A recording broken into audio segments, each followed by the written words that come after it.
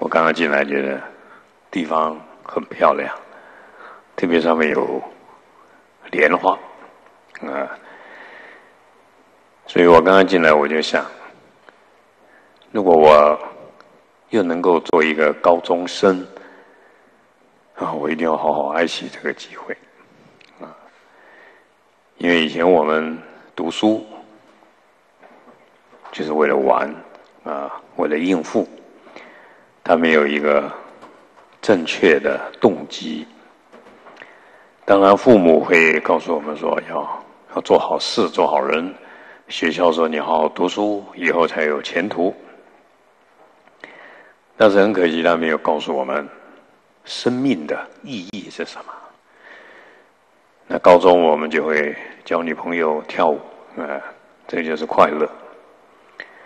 所以。读书就是希望读前面几名，将来可以考上好的大学。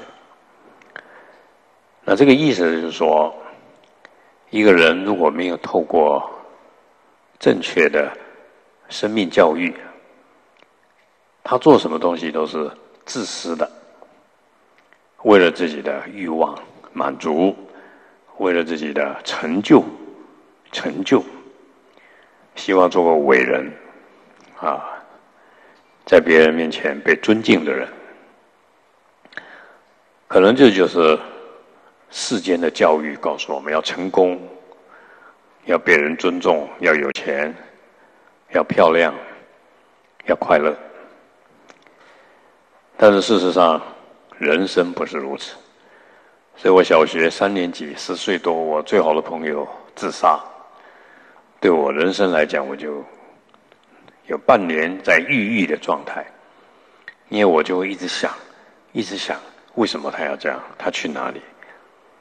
然后到我高中的时候，又有另外一个同学，也是一个很好，在班上很乖很乖的，但是他的哥哥是个败家子，然后弄得他爸爸妈妈很痛苦，后来他也选择自杀。这是我第二次的人生，又开始有一点很痛苦。每天我都会觉得心情不好，然后回去思考这个问题。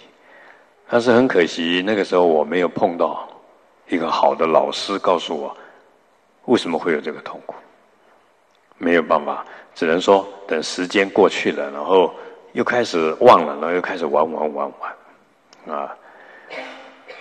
然后再来就进大学了，啊，那进大学，那当然了，那玩的更厉害，因为上了年纪了，大家玩的更高级了，啊，但是玩下来以后，就想了将来出社会怎么赚钱，啊，所以如果我们今天大家要来谈佛法。那今天的题目好像是爱自己，爱世界，啊，这个题目非常好。什么叫爱自己？就是不要让自己受苦。简单的说，怎么爱自己？不要生气，那就快乐；不要有欲望，很快乐，那叫爱；不要让自己生病，啊，这才是真正的爱自己。那站在佛教。真正的爱自己，是要让自己的生命没有一点点痛苦，啊。那生命有什么痛苦？我讲小朋友生下来就开始有生老病死。现在的教育就教育我们怎么逃避这个，更好的医疗，更好的知识，更好的房子。刚刚我车子来看到很多房子，我还问李志雄这一栋多少？七百多万。我在想，一个年轻人大概没机会买吧，啊，除非他爸爸很有钱，啊。当然住大房子跟住小房子心态当然感受有点不一样。但是世间人现在在追求的这些，都只是一个。刚刚讲了，赚钱、有房子、有地位、儿女乖，那个只是一个，来念一下，有漏的快乐，在佛教叫有漏。什么叫有漏？就像这个沙子放在一盘盘子里面，里面有洞，所以沙子最后会会流失了，得不到沙子，叫有漏的。我们叫暂时的快乐，也就是说不就近。所谓不就近，是今天给你全世界的钱，也没办法叫你解决生命的根本的痛苦，生老病死轮回的痛苦。所以，但是现在人宗教不流行了，就像各位到奥丁爱丁堡来，你会发现很多教堂变成咖啡店啊，变成商店。古时候为什么教堂这么多？啊，因为古时候没有没有 iPhone 啊，啊，没有这么多好玩的，所以他们古时候人必须面对天气的变化，甚至战争，啊，传染病。对他来讲，生命比现在苦，不容易满足，所以他对未来世死亡有点恐怖，他一定要去找信仰，因为他认为人间的各种进步没办法解决他的问题。那现在的科技文明发达了，反而很容易让你麻醉，包括生病可以帮你打麻醉剂，甚至有人在讨论。呃，安乐死，我不要面对太大的痛苦啊！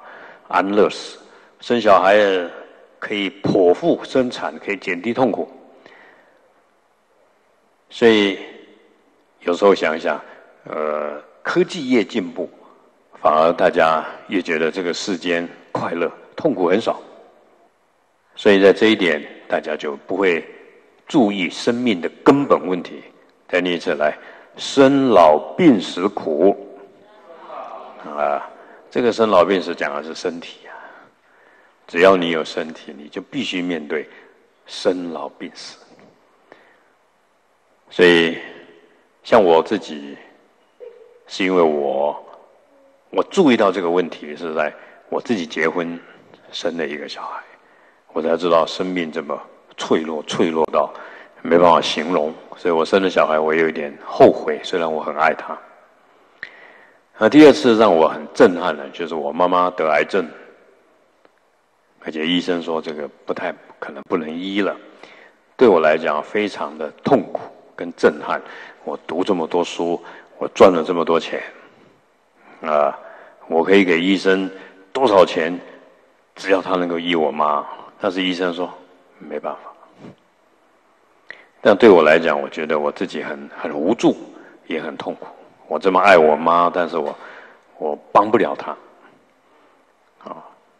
但是好在我有一点福报，就像各位今天能够来，呃，参加法会，应该叫福报吧，啊！因为你就有机会听到佛法，啊！所以我妈妈在生病的时候，那时候有人给我一部《地藏菩萨本愿经》。当然，这里面还有一段故事，就是有人骂我，因为我妈妈生病，我们四个小孩，呃，轮流一人去看一天，这样，啊，轮流。但是我的儿子那时候正在生病，我却天天晚上无论如何我要去陪他。那我有一位朋友就骂我：“你这不孝子！看儿子生病，你二十四小时守着。”妈妈生病还计较哎，礼拜一、礼拜二、礼拜三、礼拜四，啊！我一被讲以后，我很惭愧。各这个各位，这个很重要。修行要有一点善根，就是说，什么叫善根？就也叫慧根。别人骂你的时候啊，你不但不生气，还会反省自己。哦，我错了，这个叫慧根。一个没有善根的人，是别人骂他的时候，他还怪对方了。你凭什么讲我？这个叫没有善根。所谓善不善根，就是他有没有惭愧心呢？啊，所以我被骂的时候，我我觉得我很谢谢他，我我觉得很惭愧，真的，我重我儿子超过我的妈妈，所以我就跟我过去的太太说，儿子就麻烦你照顾，因为他中耳炎住院几天要开刀，那我要守在医院，啊，因为我跟我哥哥弟弟说，没关系，晚上都我来睡。也不用请特别看护，不是钱的问题，啊，因为自己妈妈要要自己，当然看护还在，但是都是我在看。但是也因为我住在医院啊，让我有机会好好去思维。这一点各位一定要给自己机会，不要一直忙着某一些事情赚钱啊、读书啊，一直忙一直忙，然后等事情发生的时候，你没有机会去思维怎么面对它。啊，就像晴天霹雳一样，医生可以说你不用上班了。哦，为什么？因为你得癌症了。这样。啊，那时候你整个人生，所以癌症大部分不是真的病死了，是吓死了。这样。他不知道怎么面对。啊。但是佛陀给我们讲一句话非常好，来念一下：一切变化无常，接受变化。就是了解真理，我们修就在修这个啊。我们希望这个世间什么都不要改变，偏偏这个世间的真理、永恒的真理，就是什么啊？一切都会改变，那就是真理。这个世间没有不变化的。佛陀要我们念一下：体悟无常。体就是你要真实的去感受、去了解。这个世间一切变化无常。你很爱你的先生，你很爱你的太太，哪一天你发觉啊，他外面还有爱人，那那个时候你怎么办？这个叫修行啊！修行不是在逃避痛苦，修行是了解。就像很多年轻女孩子问我：“师傅，我要结婚了，你能祝福我吗？”我就给她好。祝你面对变化的时候能够接受。他说：“什么变化？老公会没有女人，你能接受吗？这不可能。那你考虑一下，你要不要结婚？为什么？不然你会很痛苦啊？为什么？如果你能够接受你结婚，那你就不会痛苦。为什么？你反而更爱惜呀。就像我现在想，我们现场的每个人都会死，这是一定的，对不对？”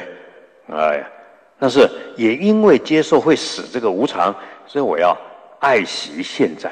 哎，每一分秒我跟谁在一起，我在哪里，我都要爱惜那一刻。就像我，我这两三年还很有福报，每年都来我们爱丁堡一次，一天两天就走了。哎，对我来讲，我在这边的生命就是两天就死了，所以。昨天我们一到，跑了很多很多的坟墓区，跑了很多很多的可以去慈悲的地方，甚至刚刚还想要跑去教堂啊！教堂是人们祈祷的地方，我们也要把把这种爱的力量融入在教堂里面。因为对我来讲，明天又要离开爱丁堡了，下回各位我们什么时候再见面不知道，这个就是。变化无常，也因为你越体悟变化无常，你会越认真当下。更重要的，生命一定会死的，所以一定要找到生命的意义。不要把我们的生命放在追求欲望、房子、金钱。那各位你要去思维，哪一天你拥有整个爱丁堡的房子跟金钱，男生女人你都拥有了，又怎么样？那只是一个感受啊！你是个最有钱的人，难道你吃饭别人吃一碗，你吃十碗吗？那只是一个感受，说我是有钱人，我比别人漂亮，我比别人健康，但是到底呢，还不是什么都带不走。所以佛陀讲一句话非常好：凡是在一起的，必定会分开。啊，你要了解这个道理啊。所有的财富什么都带不走，啊，做高位的必定有下台的一天。凡是有生命，都会死亡，这个叫真理。所以，如果人家问你学佛在干嘛，你讲追求真理的生命。什么叫真理？就是不变的道理，不是佛陀创造的，不是上帝创造的。这个花势必会坏掉，这个叫真理。这个人势必会死掉，大家必须分开。